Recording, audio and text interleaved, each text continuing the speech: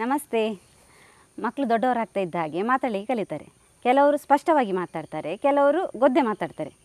ನಮ್ಮದು ಹಿಂದಿನ ಕಾಲದಲ್ಲಿ ಬಜೆ ಅಂತೇಳಿ ಮಕ್ಕಳಿಗೆ ಮುಟ್ಟಿಸ್ತಾ ಇದ್ದರು ಅದು ಮಕ್ಕಳು ಬೇಗ ಮಾತಾಡಲಿಕ್ಕೆ ಕಲೀಲಿ ಮತ್ತು ಸ್ಪಷ್ಟವಾಗಿ ಮಾತಾಡಲಿ ಅನ್ನೋ ಉದ್ದೇಶದಿಂದ. ಹಾಗಾದರೆ ಆ ಬಜೆ ಬಗ್ಗೆ ಇವತ್ತು ತಿಳಿದುಕೊಳ್ಳುವ. ಬನ್ನಿ. ನಾನು Asha Udupa Kateel.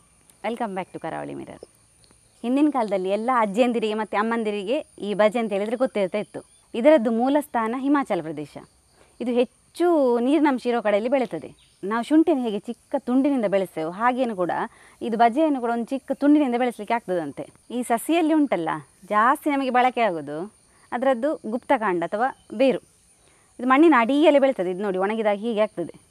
ಇದರದ್ದು ಹಸಿ ಬಜೆ ಕೂಡ ತುಂಬ ಉಪಯುಕ್ತ, ಹಾಗೆ ಒಣಗಿದ ಬಜೆ ಅದಕ್ಕಿಂತ ಜಾಸ್ತಿ ಉಪಯೋಗ ಬರ್ತದೆ ಇದು. ಆಯುರ್ವೇದದಲ್ಲೆಲ್ಲ ತುಂಬ ಉಪಯೋಗಿಸ್ತಾರೆ ಇದನ್ನು. ಮತ್ತು ಇದರದ್ದು ಟೇಸ್ಟ್ ಹೇಗೆ ಅಂತ ಹೇಳಿದರೆ ಕಹಿ ಇರ್ತದೆ, ಖಾರ ಕೂಡ ಇರ್ತದೆ. ಮತ್ತು ಇದು ಪರಿಮಳ, ಇದೊಂದು ಈ- ಥರದ್ದೇ ಒಂದು ಹತ್ತು ಥರದ್ದು ಬೇರಿಟ್ಟರೆ ನಮಗೆ ಬಜೆ ಯಾವುದಂತ ಹೇಳಿದರೆ ಸುಲಭವಾಗಿ ಫೈಂಡ್ ಔಟ್ ಮಾಡ್ಬೋದು ಹಾಗೆ ಪರಿಮಳ ಇದು. ನೋಡಿ, ನಾವು ಮಕ್ಕಳಿಗೆ ಹೇಗೆ ತೆಗೆದು ಕೊಡ್ತಾರೆ ಅಂತ ಹೇಳಿ ನಾನು ತೋರಿಸ್ತೇನೆ. ಇದು ನಮ್ಮದು ಗಂಧದ ಕಲ್ಲು. ಇದಕ್ಕೆ ಸ್ವಲ್ಪ ನೀರು ಹಾಕಿ ಇದನ್ನು ನೋಡಿ ಹೀಗೆ ತೆಗಿಬೇಕು. ತೆಗೆಯುವಾಗ ನಮಗೆ ಇದು ಗಂಧ, ಶ್ರೀಗಂಧದ್ದೆಲ್ಲ ತೆಗೆದಾಗ ಹೇಗೆ ಬರ್ತದೆ? ಹಾಗೇನಿದು ಒಂಥರ ಅದೇ ಕಲರಲ್ಲಿ ಬರ್ತದೆ ನಮಗೆ. ಇದನ್ನ ಒಂದು ಐದು ನಿಮಿಷ ಹೀಗೆ ತೇಯ್ತಾ ಇರಬೇಕು ಆಗ ಇದು ಬಿಟ್ಕೊಳ್ತದೆ ಬಜ್ಜೆದ್ದು ಬಜ್ಜೆದ್ದು ಉಂಟಲ್ಲ, ತುಂಬ ಉಪಯೋಗ ಅಂತ ಹೇಳಿದರೆ ಮಕ್ಕಳಿಗೇನೆ ನಾವಂದರೆ ಹುಟ್ಟಿದ ಮಕ್ಕಳಿಂದ ಹಿಡಿದು ಒಂದು ಐದಾರು ವರ್ಷದ ಮಕ್ಕಳ ತನಕ ಕೂಡ ನಾವು ಇದನ್ನು ಕೊಡ್ತೇವೆ. ಮತ್ತು ಇದರಲ್ಲಿ ಎಂಥ ಸೈಡ್ ಎಫೆಕ್ಟ್ ಇಲ್ಲ.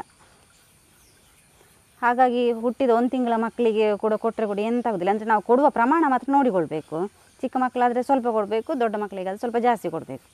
ಚಿಕ್ಕ ಮಕ್ಕಳಿಗೆ ಕೂಡ ಸ್ವಲ್ಪ ಕೊಡೋದು ಯಾಕಂತ ಹೇಳಿದರೆ ಇದು ಖಾರ ಇರ್ತದಲ್ಲ ಮಕ್ಕಳಿಗೆ ತಡ್ಕೊಳ್ಳಿಕ್ಕೆ ಆಗಬೇಕಲ್ಲ. ಹಾಗಾಗಿ ಚಿಕ್ಕ ಮಕ್ಕಳಿಗೆ ಸ್ವಲ್ಪನೇ ಕೊಡೋದು ನಾವು.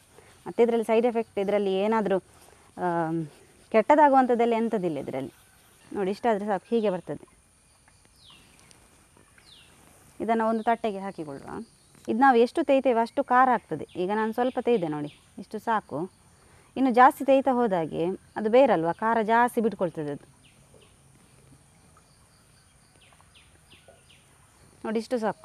ಮಕ್ಕಳಿಗೆ ಹೇಗೆ ಕೊಡೋದಂತೇಳಿ ನಾನು ಹೇಳ್ತೇನೆ ಈಗ. ಈಗ ನಾವು ಹೀಗೆ ತೆಗೆದುಕೊಂಡ್ವಿ. ಇದನ್ನು ಡೈರೆಕ್ಟ್ ಹೀಗೆ ಒಂದು ಕೈಯಲ್ಲಿ ಈಗ ಚಿಕ್ಕ ಮಕ್ಕಳಿಗಾದರೆ ಒಂದು ಕೈಯಲ್ಲಿ ಹೀಗೆ ತೆಗೆದು, ಈಗ ನೋಡಿ ಕೈಯಲ್ಲಿ ಇಷ್ಟ ಆಯಿತು. ಇದನ್ನು ಇಡೀ ಬಾಯಿಗೆ ಹೀಗೆ ಮೇಲಿಂದ ಕೆಳಗಡೆ, ಬಾಯಿ ಒಳಗಡೆ ಸರಿಯಾಗಿ ನಾವು ಇದನ್ನು ಲೇಪಿಸಬೇಕು. ಹೀಗೆ ಬಾಯಿ ಓಪನ್ ಮಾಡಿ ಲೇಪಿಸಬೇಕು. ಕೆಲವರು ಗೊದ್ದೆ ಗೊದ್ದೆ ಮಾತಾಡ್ತಾರೆ ನೋಡಿ. ಅವರದ್ದು ಮಾತು ಸ್ಪಷ್ಟ ಆಗ್ತದೆ.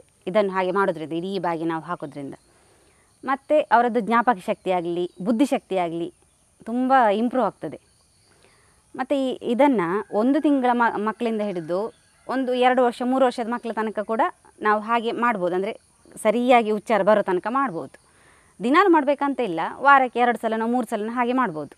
ಒಂದು ತಿಂಗಳಿಂದ ಒಂದು ಆರು ತಿಂಗಳ ಮಕ್ಕಳ ತನಕ ಅವರಿಗೆ ಫೀಡಿಂಗ್ ಮಾಡಿಸೋದು ಬಿಟ್ಟು ಬೇರೆ ಎಂತ ನಾವು ಕೊಡೋದಿಲ್ಲ ನೋಡಿ. ಆ ಟೈಮಲ್ಲಿ ಫೀಡಿಂಗ್ ಮಾಡಿದರೂ ಕೂಡ ಹೊಟ್ಟೆಯಲ್ಲಿ ಜಂತುಗಳೆಲ್ಲ ಆಗ್ತದೆ.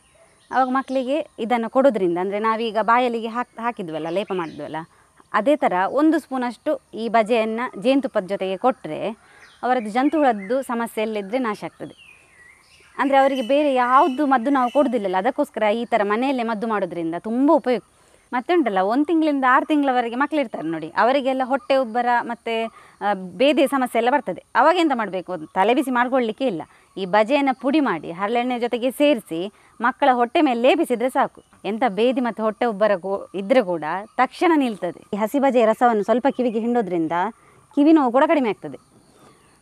ಮತ್ತು ಇದನ್ನು ಬಜೆಯನ್ನು ಪುಡಿ ಮಾಡಿ, ಭಸ್ಮ ಮಾಡಿದ ನಂತರ ಅದನ್ನು ಜೇನುತುಪ್ಪದ ಜೊತೆಗೆ ಒಂದು ದಿವಸಕ್ಕೆ ಎರಡರಿಂದ ಮೂರು ಸಲ ನಾವು ಸೇವಿಸೋದ್ರಿಂದ ಎಂಥ ಕಫ, ನೆಗಡಿ ಮತ್ತು ಕೆಮ್ಮೆಲ್ಲ ಇದ್ದರೆ ಕೂಡ ಕಡಿಮೆ ಆಗ್ತದೆ.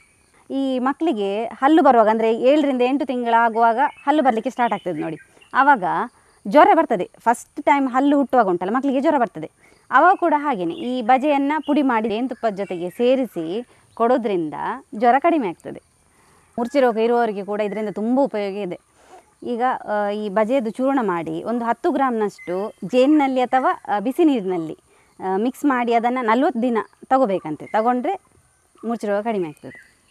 ಚಿಕ್ಕ ಮಕ್ಕಳಿಗೆ ಮಾತು ಸ್ಪಷ್ಟ ಆಗಲಿಕ್ಕೆ ಈ ಬಜೆ ಹೇಗೆ ಉಪಯೋಗ ಅಂತ ಹೇಳಿ ನೋಡಿದ್ರಲ್ಲ? ಹೀಗೆ ಇನ್ನು ಹೊಸ ಇಂಟ್ರೆಸ್ಟಿಂಗ್ ವೀಡಿಯೋದೊಂದಿಗೆ ಮುಂದೆ ಸಿಗುವ. ನಮ್ಮ ಚಾನಲ್ನ ಸಬ್ಸ್ಕ್ರೈಬ್ ಆಗಿ ಸಪೋರ್ಟ್ ಮಾಡ್ತಾಯಿರಿ ಥ್ಯಾಂಕ್ ಯು